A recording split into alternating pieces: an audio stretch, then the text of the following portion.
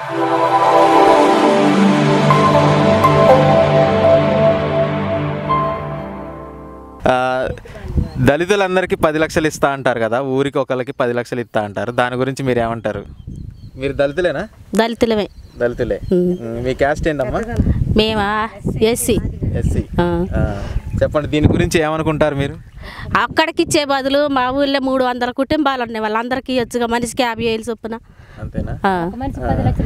ఒక్క మనిషికి పది లక్షలు ఇస్తాను అంటాడు. పది లక్షలు వద్దు. మనిషి మాకు మూడు వందల కుటుంబాలు ఉన్నాయి. మూడు వందల మా ఊళ్ళే. ఎక్కడమ్మా మీది ఎక్కడ? అడ్రస్? మాది చెమ్మునుగూడెం. మండలం? మండలం టేకలపల్లి. జిల్లా? జిల్లా ఖమ్మం. భద్రాద్రి కొత్తగూడెం జిల్లా. ఆ, ఓకే. ఆ, చెప్పు. పది లక్షలు పది లక్షలు ఇచ్చి దళితుల్ని లక్షాధికారులు చేద్దామని కేసీఆర్ గారు ప్రయత్నిస్తున్నారు. దాని గురించి మీరు ఏమంటారు? అంటే నియోజకవర్గానికి ఒక వంద కుటుంబాలకు పది లక్షలు ఇద్దాం అనుకుంటాడు. దాని గురించి మీరు ఏమంటారు? మాకు పది లక్షలు కాదు. మా ఊరికి వచ్చి మూడు వందల కుటుంబాలు ఉన్నాయి కుటుంబానికి కనీసం ఒక మన ఇంటికి ఒక లక్ష రూపాయలు ఇచ్చినా చాలు. వాళ్ళందరికి ఇచ్చే బదులు మేము నిరుపేదలు మాకు ఏమి లేదు ఒక్కొక్కళ్ళ ఇంట్లో నాలుగైదు కుటుంబాలు ఉన్నాయి. మరి రైతులకి ఒక్కొక్క ఇంటికి రైతుకి అన్నం పెడతాడు ఆ రైతు ఈ పండించుకొని తింటాడు వాళ్ళకి మళ్ళీ వచ్చేసి వాళ్ళకి మళ్ళీ వాళ్ళకి నెలకొచ్చి సంవత్సరానికి వచ్చి యాభై వేలు వస్తున్నాయి మేము అసలు నిరుపేదలం మాకేం లేదు ఇగో ఈ నాటేసుకుంటే మేము బతకాలి. మరి మా కూలోడికి ఏం లేదుగా. మీకు ఎన్ని ఎకరాల పొలం ఉంది? అసలు ఏమీ లేదు నిరుపేదలం. నిరుపేదలం. ఇప్పుడు మీరు ఇప్పుడు ఇక్కడ ఏం చేస్తారు? ఇగో నాటేస్తాను నాటేస్తారా. మీకు పొలం లేదు. మాకు పొలం లేదు.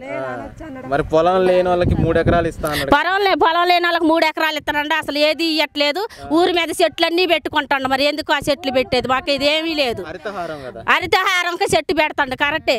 దానికి ఉంద నీడ కానీ మరి మాకేది నీడ? రైతుకు ఉంద నీడ. రైతు ఇవాళ పండించుకొని రేపు తింటాడు. మరి మాకు తినటానికి ఏది? మేము చేసుకుంటేనే తినాలి లేకుంటే లేదు. పచ్చడి కారంతో తిని బతుకుతున్నాం. ఎట్లా చేస్తే బాగుంటది అంటారు ఇప్పుడు దళిత బంధు? దళిత బంధు ఎట్లా చేస్తే కాదు. ఆ రైతుకి ఇస్తాడు కాబట్టి మాకు నిరుపేదలకి అంతో ఎంతో సహాయం చేయాలి. ఉన్న లేని వాళ్ళం అట్లే ఉండాలా? ఇప్పుడు ఎగసాయం భూమి ఉన్నవాడికి భూమి ఎట్లా వచ్చింది వాడికి? భూమి ఎట్లా వచ్చింది మరి మాకేమీ లేదుగా మేము చేసుకుంటూనే తినాలి. అదేనా? కేసీఆర్ పంపించే లెక్క? కూలోడికి ఏమి ఇస్తాడు? ఇప్పుడు హుజూరాబాద్లో ఎన్నికలు జరుగుతున్నాయి అక్కడ. ఆడ రెండు వేల కోట్లు ఇస్తా అంటాడు. ఆడున్న ఇరవై వేల మంది దళితులకి. దాని గురించి మీరు ఏమంటారు? ఏమంటారు మాకు గాడ కావాలని అంటున్నాం. అంతేనా? ఆ. మాకు అన్నీ కాకపోయినా మా నిజ మా ఏ- మా నియోజకవర్గంలో మా ఎమ్మెల్యే హరిప్రియ. ఆ. హరిప్రియ రాజీనామా చేస్తే మరి అందరికి వస్తాయంట మరి. వేసినప్పుడే వస్తుంది ఆమె ఓటు వేయించుకున్నప్పుడే మా ఊరు మాకు చూసింది. అప్పటి నుండి ఇప్పటిదాకా ఏమీ లేదు. వాగు మాకు చుట్టూ వాగు. మేము చచ్చిపోట చచ్చిపోయినా తెప్పపడటానికి ఏమీ లేదు. అది ఊరే కట్టారు. అల్లబడి చచ్చిపోయినా ఏం కాదు ఇంకా. మాకు ఏమీ లేదు అసలు. ఊరికి బిర్జి కడ అమ్మ మరి మీ వాళ్ళకి? పొలాలు లేవు ఏమి లేవు. రైతుల కింద మేము వచ్చి వ్యవసాయం చేసుకో వ్యవసాయదారులకి కూలికి వస్తే వాళ్ళు ఇచ్చే రెండు వందల బట్టపై మేము వండుకొని తినాలి.